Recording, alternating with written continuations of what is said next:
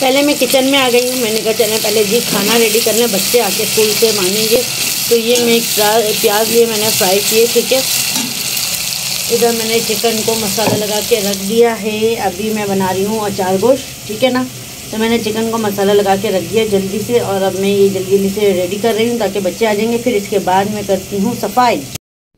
अच्छा जी, जनाब, सालन मैंने रेडी करने पे रख दिया सालन जब तक बन रहा है तो मैं आ गई हूँ वापस सफ़ाई की तरफ़।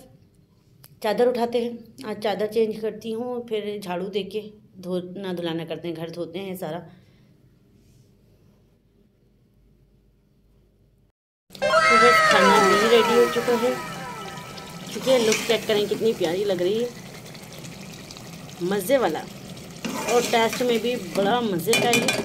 ठीक है अच्छा जी, काम मैंने कर लिया है। झाड़ू वगैरह दे लिए सब। अभी जो मैं चादर बिछाऊँगी बाकी धोना धुलाना भी हो गया।